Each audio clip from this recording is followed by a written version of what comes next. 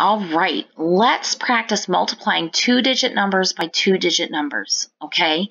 Now, I see 39 times 14 equals 156 plus some number with a 9 in the tens place, which gives us a total of 546.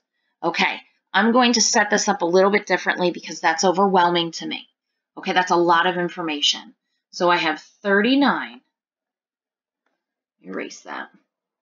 I have 39 times 14. Okay?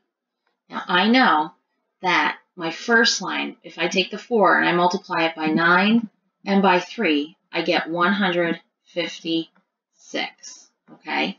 So I have that part done. All right? Next, I need to find that next line. So I'm done with the 4.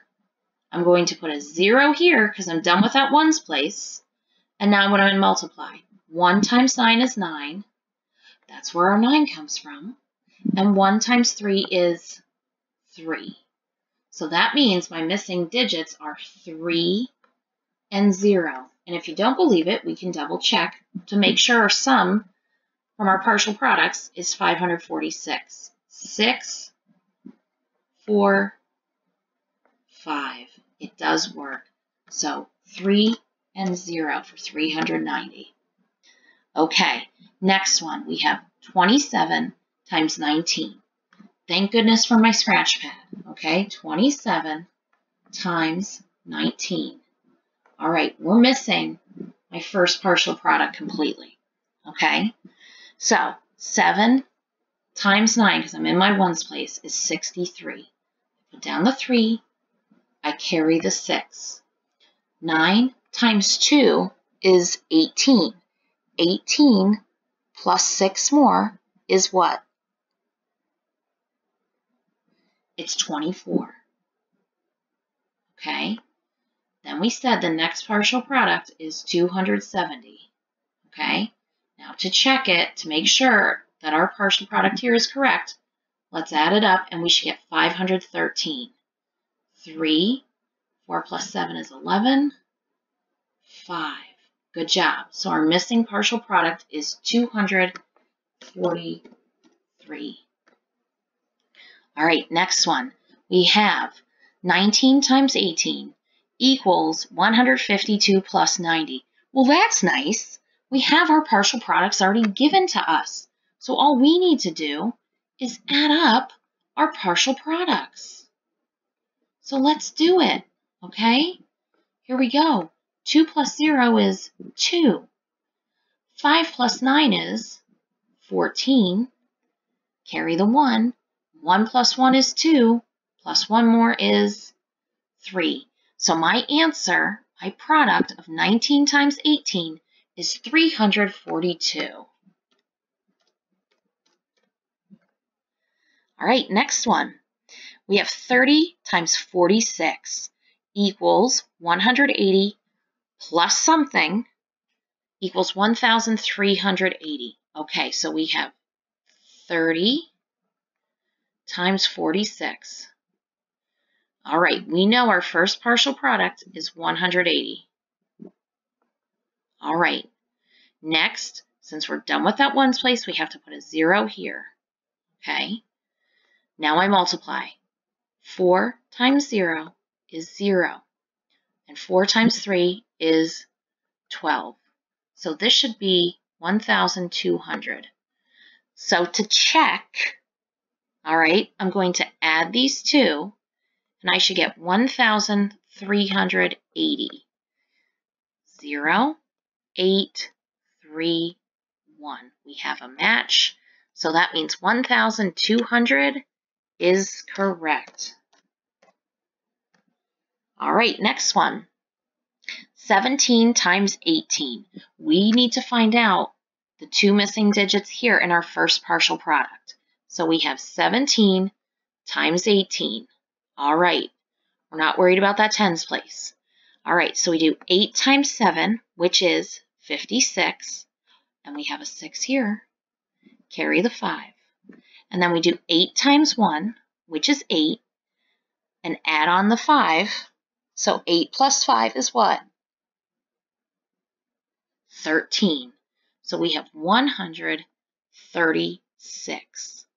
If we add the other partial product to it, we should get 306 as our total.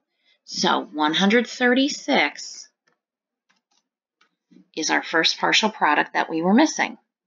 All right, 19 times 25 equals, what's our first partial product? So we do 19 times 25. Okay. Now we're not worried about the tens place. Okay, we're worried about the ones place because we already have the tens place done. So 9 times 5 is 45. Put down the 5. Carry the 4. 5 times 1 is 5 plus 4 more is 9.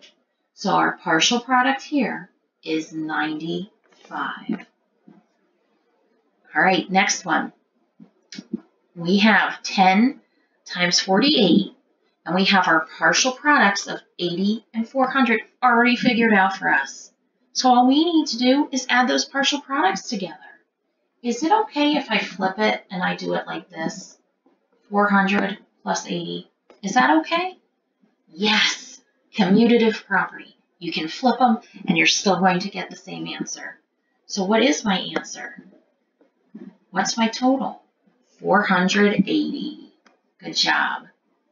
Next one, we have 41 times 25 equals 205 plus 820. They gave us our partial products. What do we need to do? We need to add them up. So we have 205 and 820. All right, let's add it up. And that should give us our final product. 5 plus 0 is 5. 0 plus 2 is 2. And 2 plus 8 equals 10. So 1,025 is our final answer. All right, next one. 44 times 50 equals 0 plus what? We need to find that second partial product. So we have 44 times 50. Okay, we know our first partial product is 0 because in the ones place, 0 times 4 and 0 times 4 are both 0. So we're done with that ones place. So we put a 0 here to hold it. All right, Let's do it. 5 times 4 is 20. Down the 0. Carry the 2. 5 times 4 again is 20. Plus 2 more is 22. So our second partial product that we can check by adding them is 2,200. Let's try one more. We have 36 times 50 equals 0 plus 1,800 equals. Okay, so nice. They gave us our partial products. So all we need to do is add it together. And what's 0 plus 1,800? It's 1,800.